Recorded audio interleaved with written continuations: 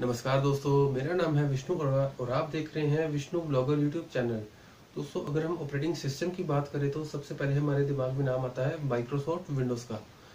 अगर हम Linux Unix और मैक की बात करें तो शायद बहुत कम ही लोगों ने इसके बारे में सुना होगा। तो दोस्तों, आज की वीडियो में हम बात करने वाले हैं world most popular operating system Microsoft Windows के बारे में।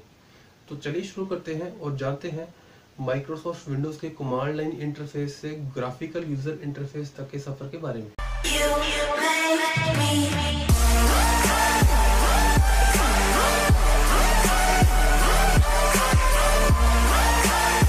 दोस्तों विंडोज़ 1.0 के रिलीज़ से पहले एम एस डॉस था, जो कि 1981 में रिलीज़ हुआ था, और इसे माइक्रोसॉफ्ट ने आईबीएम के लिए डिज़ाइन किया था। ये एक डिस्क ऑपरेटिंग सिस्टम था, और ये कम्प्लीटली कमांड लाइन इंटरफेस था। यूज़र इंटरफेस जैसा इसमें कुछ भी नहीं था। आइकन्स फाइल्स फोल्डर्स जैसा कुछ भी नहीं था इसमें। ये एक कमांड लाइन इंटरफेस था और इसे आप कमांड टाइप करके यूज़ कर सकते थे। इसमें एक ब्लैक एंड व्हाइट स्क्रीन होती थी और जो आप इसमें कमांड टाइप करते थे वो व्हाइट कलर में होती थी। दोस्तों विंडोज़ 1.0 के रिलीज़ से पहले माइक्रोसॉफ्ट एप्पल के साथ भी काम कर चुका था। विंडोज़ 1.0 जो कि नवंबर 1985 में रिलीज़ हुई थी, उससे पहले माइक्रोसॉफ्ट ने एप्पल मैकेटॉश पीसी के लिए कुछ एप्लीकेशंस डिज़ाइन किए थे।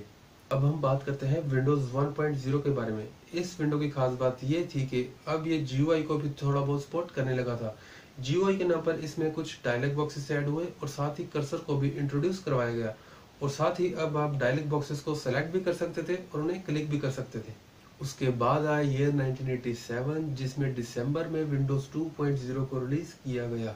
ये एक 16 बिट जीआई बेस्ड इन्वायरमेंट था। विंडोज़ के इस वर्जन की सबसे खास बात ये थी कि इसमें मल्टीटास्किंग ओवरलैपिंग और विंडो रीसाइजिंग का फीचर देखने को मिले और इसके साथ ही कीबोर्ड शॉर्टकट भी इसमें ऐड कर दिए गए, जिसने इसको और भी यूज़र फ्रेंडली बना दिया था। आइकन्स भी विंडोज़ के इसी वर्जन में इंट्रोड्यूस हुए थे। एप्लीकेशन सपोर्ट में हमें कैलेंडर कैलकुलेटर नोटपैड और पेंट का सपोर्ट देखने को मिला। कंट्रोल पैनल भी विंडोज़ के इसी वर्जन में इंट्रोड्यूस हुआ था। और इसके साथ ही आप इसमें पूरे सिस्टम के कलर्स को चेंज कर सकते थे। एम एस वर्ड और एक्सेल भी सबसे पहले विंडोज़ के इसी वर्जन में इस्तेमाल किया गया था। इसके बाद में 1990 में माइक्रोसॉफ्ट ने 16 बिट में ही विंडोज़ 3.0 को लॉन्च किया, जो कि विंडोज़ 2.0 से काफ़ी ज़्यादा एडवांस था। स्टार्टअप मेन्यू से पहले माइक्रोसॉफ्ट ने एक लॉन्चर एप्लीकेशन बनाई थी, जिसका नाम था प्रोग्राम मैनेजर सभी एप्लीकेशंस प्रोग्राम्स फाइल्स सब यहीं से ओपन होते थे। फ़ाइल मैनेजर को भी विंडोज़ के इसी वर्जन में इंट्रोड्यूस किया गया था। माइक्रोसॉफ्ट ने टास्क लिस्ट का भी एक फीचर बनाया था, जिसमें आप एप्लीकेशंस और प्रोग्राम को स्विच कर सकते थे। गेम्स की शुरुआत भी विंडोज़ के इसी वर्जन से हो गई थी। सॉलिटायर और माइंस वेपर जैसे गेम भी विंडोज़ में आ चुके थे। अब आ गया था साल उन्नीस और माइक्रोसॉफ्ट ने पहली बार 32 बिट आर्किटेक्चर पर बेस्ड विंडोज़ 95 को लॉन्च किया। यानी अब आपका सिस्टम पहले से दो गुना फास्ट हो गया था। इसके 32 बिट आर्किटेक्चर पर बेस्ड होने के कारण इसकी एप्लीकेशंस और सॉफ्टवेयर को स्पेशली डिज़ाइन किया गया। अगर इसके फीचर्स की बात करें तो सबसे पहले तो इसमें जी को रीडिजाइन किया गया। यानी अब आपका यूज़र इंटरफेस कम्प्लीटली चेंज हो चुका था। प्लग एंड प्ले का भी फीचर विंडोज़ के इसी वर्जन में इंट्रोड्यूस करवाया गया था, यानी अब आपका सिस्टम ऑटोमेटिकली कनेक्टेड डिवाइसेस को डिटेक्ट कर लेगा। Start menu task bar desktop और विंडोज़ एक्सप्लोरर जैसे फीचर भी विंडोज़ के इसी वर्जन में ऐड किए गए थे। फ़ाइल नेम से भी रिस्ट्रिक्शन हटा ली गई थी, यानी अब आपका सिस्टम लॉन्ग फ़ाइल नेम को भी सपोर्ट करने लगा था अब two two fifty five characters तक। दोस्तों माइक्रोसॉफ्ट ने इंटरनेट एक्सप्लोरर को भी पहली बार विंडोज़ 95 में ही लॉन्च किया था। 6 सेकंड का स्टार्टअप साउंड भी इसमें ऐड किया गया था। ये सुनिए, शायद आपने सुना होगा। यानी विंडोज़ का ये वर्जन रेवोल्यूशनरी चेंजेस लेकर आया था। कंपनी ने अगस्त 1995 से नवंबर 1997 के पीरियड में इसके कुछ अपडेट्स और एडिशंस भी रिलीज़ किए थे। इसके बाद में 1998 में माइक्रोसॉफ्ट ने अपनी 9x फैमिली का एक और वर्जन लॉन्च किया, विंडोज़ 98 इसमें जो बूटिंग थी, वो अभी भी डॉस बेस्ड थी, लेकिन इसके स्टार्टअप साउंड को चेंज किया गया। इसके दो एडिशन लॉन्च किए गए। पहले एडिशन में इंटरनेट एक्सप्लोरर 4 को लॉन्च किया गया, वहीं दूसरे एडिशन में इंटरनेट एक्सप्लोरर 5 को लॉन्च किया गया। इसमें हमें active desktop, single click launch forward and backward button address bar और इमेज थंबनेल जैसे ऑप्शंस भी ऐड किए गए। विंडोज़ के इस वर्जन में हमें यूएसबी का सपोर्ट और विंडोज़ ड्राइवर मॉडल का भी सपोर्ट देखने को मिला। यानी अब आप अपने सिस्टम के साथ यूएसबी माउस कीबोर्ड और जॉयस्टिक जैसे पेरिफेरल्स का भी यूज़ कर सकते थे। विंडोज़ का ये वर्जन अब डीवीडी को भी सपोर्ट करने लग पड़ा था। दोस्तों 1993 से लेकर 1996 के बीच माइक्रोसॉफ्ट ने बिज़नेस ऑपरेटिंग सिस्टम रिलीज़ किया था। जिसका नाम था विंडोज़ एनटी यानी विंडोज़ न्यू टेक्नोलॉजी दोस्तों, ये एक 32 bit architecture based business operating system था। इसे स्पेशली वर्क स्टेशन और सर्वर के लिए डिज़ाइन किया गया था और इसका इंटरफेस विंडोज़ 95 से लिया गया था। इसके अलग अलग कैटेगरी में अलग अलग एडिशन रिलीज़ किए गए थे।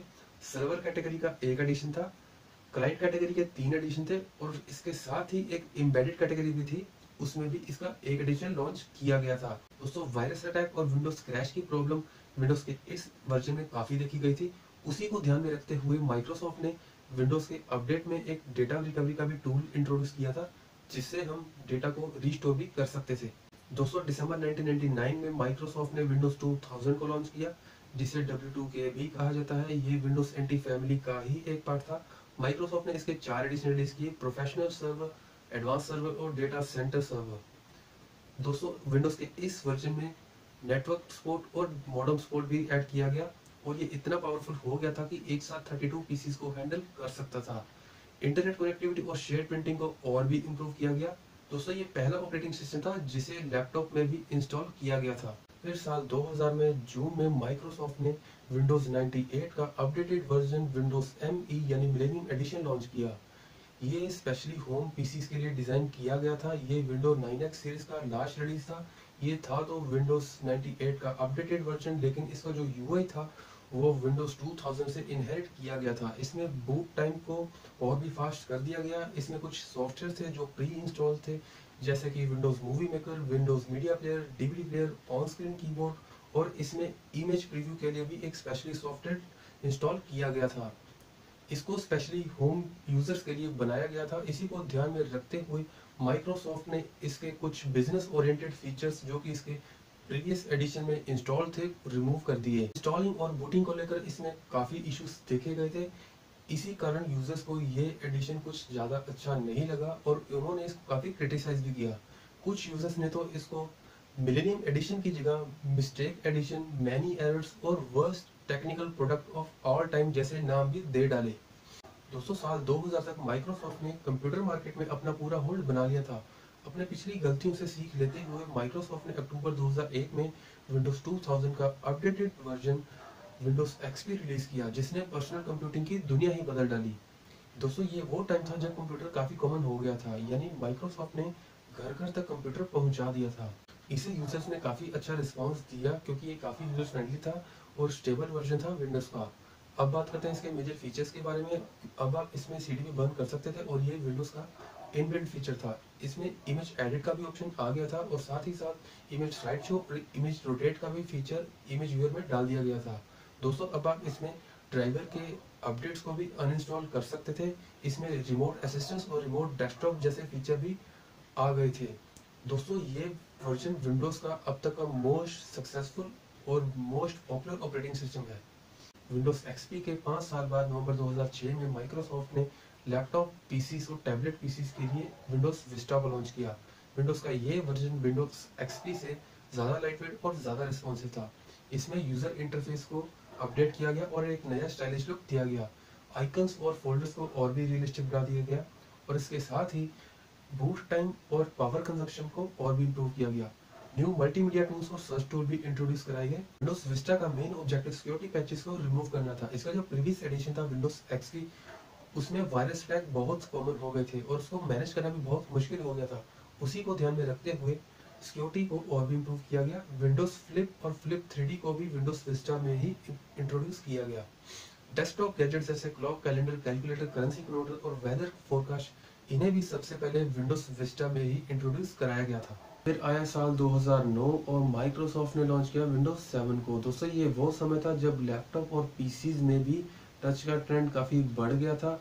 इसी को देखते हुए माइक्रोसॉफ्ट ने भी इसमें मल्टी टच का सपोर्ट दिया। दोस्तों विंडोज़ का ये वर्जन विंडोज़ विस्टा से 20 परसेंट ज़्यादा फास्ट था। अगर इसके फीचर्स की बात करें तो इसमें टास्क बार को रीडिज़ाइन किया गया। इंटरनेट एक्सप्लोरर 8 को भी इंट्रोड्यूस करवाया गया। क्रेडेंशियल्स मैनेजर टूल भी सबसे पहले विंडोज़ 7 में ही आया था। स्नेपिंग टूल को भी लॉन्च किया गया। बिल्ट इन थीम्स भी ऐड कर दी गई, जिसमें स्पेसिफिक टाइम इंटरवल के बाद वॉलपेपर ऑटोमेटिकली चेंज हो जाते थे। ब्लू रे डिस्क और वर्चुअल हार्ड डिस्क का भी सपोर्ट देखने को मिला। और अब आप विंडोज़ मीडिया प्लेयर से ही लाइव स्ट्रीमिंग कर सकते थे। दोस्तों, ये इतना पॉपुलर है कि लोग अभी तक अपने लैपटॉप और पीसी में विंडोज़ 7 का यूज़ करते हैं। इनफैक्ट मैंने भी अपने लैपटॉप में विंडोज़ 7 को ही इंस्टॉल किया हुआ है। अब आ गया था साल 2012 और माइक्रोसॉफ्ट ने लॉन्च किया विंडोज़ 8 को। इसका इंटरफेस कम्प्लीटली रीडिजाइन किया गया था। ये मेट्रो थीम पर बेस्ड था और इसे टच स्क्रीन यूज़र्स के लिए बनाया गया था। इसे माइक्रोसॉफ्ट यूज़र्स के टैबलेट पर न्यू एक्सपीरियंस के लिए डिज़ाइन किया गया था, क्योंकि विंडोज़ के इस वर्जन की मोबाइल मार्केट में भी एंड्रॉयड और आईओएस के साथ टक्कर थी। उसी को देखते हुए माइक्रोसॉफ्ट ने भी ऐप स्टोर और प्ले स्टोर की तरह ही इसमें विंडोज़ ऑनलाइन स्टोर को भी लॉन्च किया। सेफ्टी और सिक्योरिटी पर इस पर काफ़ी काम किया गया था। इसमें पिन और पिक्चर पासवर्ड का फीचर ऐड किया गया। इसमें क्लाउड स्टोरेज का भी ऑप्शन था। जिसमें आप डायरेक्टली अपनी फाइल्स को क्लाउड स्टोरेज पर स्टोर कर सकते थे। इंटरनेट के लिए इसमें इंटरनेट एक्सप्लोरर 10 इंस्टॉल था। इंटरनेट कनेक्टिविटी के लिए इसमें मोबाइल ब्रॉडबैंड का भी सपोर्ट मिला। बात करें अगर इसके रिव्यू की तो यूज़र्स का रिस्पॉन्स इतना अच्छा नहीं था। उन्हें माइक्रोसॉफ्ट विंडोज़ का ट्रेडिशनल लुक ही अच्छा लगा। माइक्रोसॉफ्ट का विंडोज़ 8 के इंटरफेस में किया गया एक्सपेरिमेंटल चेंज यूज़र्स को बिल्कुल भी पसंद नहीं आया। कुल मिलाकर अगर देखा जाए तो विंडोज़ 8 उतना अच्छा नहीं कर पाए जितना विंडोज़ के प्रीवियस वर्जन्स ने किया था। जुलाई 2015 में माइक्रोसॉफ्ट ने अपनी विंडोज़ 8 की गलती को सुधारते हुए विंडोज़ 10 को लॉन्च किया। ये विंडोज़ 7 और 8 का कॉम्बिनेशन था जो अभी तक चल रहा है। इसमें जो डेस्कटॉप का टाइल्ड व्यू था, उसे स्टार्ट मेन्यू में शिफ्ट कर दिया गया। इंटरनेट की स्पीड को बढ़ाने के लिए और इंटरनेट एक्सप्लोरर की कछुआ चाल छवि को सुधारने के लिए ब्राउज़र को रीनेम किया गया और new default browser Microsoft Edge को लॉन्च किया गया। ये ब्राउज़र वाकई में चलने में बहुत अच्छा है और बहुत ही कम रिसोर्सेज यूज़ करता है। इसमें डेस्कटॉप में ही वॉइस एंड टेक्स्ट सर्च का ऑप्शन ऐड किया गया। इसमें अब आप अपनी एप्स को यूनिवर्सली सिंक कर सकते थे किसी भी डिवाइस से, चाहे वो लैपटॉप मोबाइल या फिर टैबलेट ही क्यों ना हो। नोटिफिकेशन पैनल को और भी एक्सपेंड कर दिया गया और अब आप नोटिफिकेशन पैनल से ही रिप्लाई कर सकते थे। दोस्तों, इसका एक फीचर ऐसा भी है जिसके बारे में शायद बहुत ही कम लोग जानते होंगे। विंडोज़ का ये वर्जन बायोमेट्रिक लॉगिन और फेस अनलॉक को भी सपोर्ट करता है। बात करें अगर इसके रिव्यूज़ की तो इसे काफ़ी पसंद किया गया। इसे न्यू विंडोज़ 7 भी कहा गया, क्योंकि ये काफ़ी यूज़र फ्रेंडली था और इसकी परफॉर्मेंस भी विंडोज़ एट से काफ़ी बेटर थी। इसके सिक्योरिटी फीचर्स को भी इन्हांस किया गया। कुल मिलाकर अगर देखा जाए तो जो गलतियाँ माइक्रोसॉफ्ट ने विंडोज़ 8 में की थी, उसे विंडोज़ 10 में पूरा कर दिया गया और ये यूज़र्स की एक्सपेक्टेशन पर भी पूरा खरा उतरा। इसके रिलीज़ के कुछ दिनों बाद माइक्रोसॉफ्ट ने अनाउंसमेंट कर दी विंडोज़ 7 और विंडोज़ 8 के यूज़र चाहे वो पायरेटेड हो या फिर जेनवन उन्हें विंडोज़ 10 का फ्री अपग्रेड मिलेगा। यानी पायरेटेड विंडोज़ यूज़र भी विंडोज़ 10 को इंस्टॉल भी कर सकते थे और उन्हें अपडेट भी कर सकते थे। तो दोस्तों, ये था माइक्रोसॉफ्ट विंडोज़ का डॉस से लेकर विंडोज़ 10 तक का सफ़र, जिसमें हमने जाना कैसे एक gross based black and white operating system दुनिया का नंबर वन ऑपरेटिंग सिस्टम बना है। तो कैसा लगा आपको आज का वीडियो कमेंट करके ज़रूर बताएँ और अगर आपको ये वीडियो अच्छा लगा हो तो इसे लाइक करना और फ्रेंड्स के साथ शेयर करना मत भूलें। और अगर आपको मेरे चैनल का कंटेंट अच्छा लगा हो तो इसको सब्सक्राइब भी कर दीजिए और बेल आइकन को भी दबा दीजिए। तो मिलते हैं अपनी अगली वीडियो में, तब तक के लिए thank you so much and goodbye